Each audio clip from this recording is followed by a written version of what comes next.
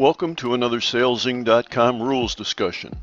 In this series, we're breaking down the 2021 to 2024 racing rules of sailing. We'll cover one rule at a time, incorporating the relevant definitions and using animated scenarios with questions and answers. In this video, we'll cover Rule 16, which addresses changing course. This series is an update to the Fair Sailing Initiative sponsored by the ILYA in 2018. Our thanks to UK sailmakers for generating the animated scenarios. Rule 16 is in part 2 of the rules, which covers situations when boats meet or are about to meet. Section B of part 2 contains four rules that limit the actions of right-of-way boats.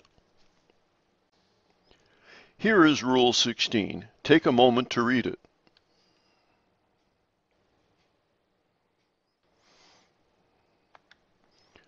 Rule 16.1 is the main rule. It says that when a right-of-way boat changes course, she shall give the other boat room to keep clear. This part of the rule applies whenever boats meet. Rule 16.2 describes a special case of Rule 16.1. If you're a starboard boat on a beat to windward, and a port tack boat is bearing off to pass to leeward, you can't bear away if the port tack boat must change course immediately to continue keeping clear. This special case is designed for situations where a starboard boat might try to hunt a port boat, such as in team racing. Let's highlight a few key points about Rule 16. First, as we just mentioned, this rule limits the ability of a right-of-way boat to change course in order to hunt another boat and get them to commit a foul. The term change course is not defined in the rules, but is discussed in an interpretation shown here. The interpretation states that changing course means changing the direction in which the boat is moving or heading. It does not include slowing down or speeding up.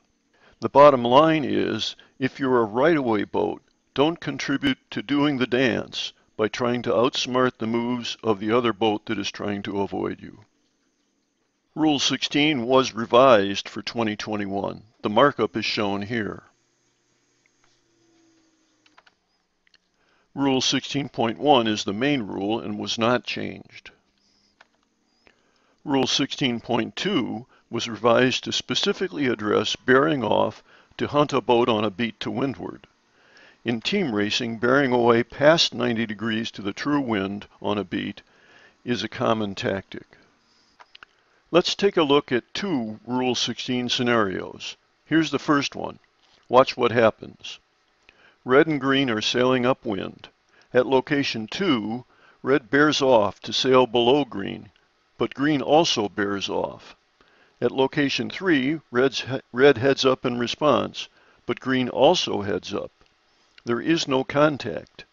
Green alleges that red did not keep clear, violating Rule 10. Red alleges that Green broke Rule 16. Here are some questions about this scenario. At location 2, did Green break Rule 16? The answer is no. Rule 16.2 applies. Red was keeping clear to pass astern of Green.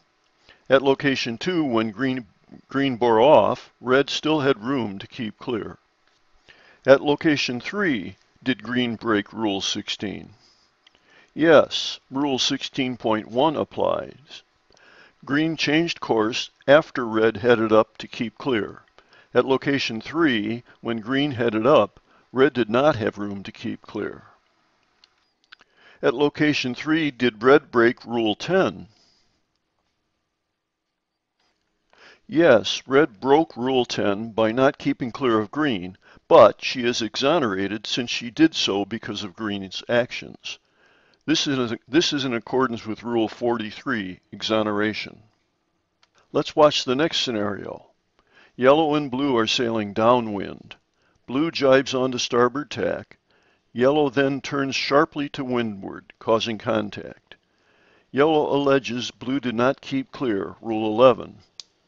Blue alleges yellow broke Rule 16. Which boat should promptly take a penalty? Yellow should take a penalty. Rule 16.1 applies. Yellow is the right-of-way boat, but did not give blue room to keep clear. Yellow turned so fast that blue couldn't respond promptly and in a seaman-like way. Here's another question. Did blue break any rules? Yes, at location 3, blue did break rule 11, but she's exonerated since she broke the rule due, due to yellow's actions. Let's conclude our discussion of Rule 16 with a case from the World Sailing Casebook. There's a link to the casebook in the sailzing.com post that accompanies this video. In case 92, sailing upwind, P bears off to keep clear. S bears off and continues to bear off, and P responds by bearing off further. At location 2, their masts collide. S claims that P should have tacked to keep clear. The question in the case is, is P required to anticipate that S will keep bearing off? What do you think? The conclusion in the case is that S broke Rule 16. P is not required to anticipate that S would keep bearing off. Thanks for watching. Feel free to leave a comment. If you like our content, please subscribe. Also, visit our website at sailzing.com for much more content.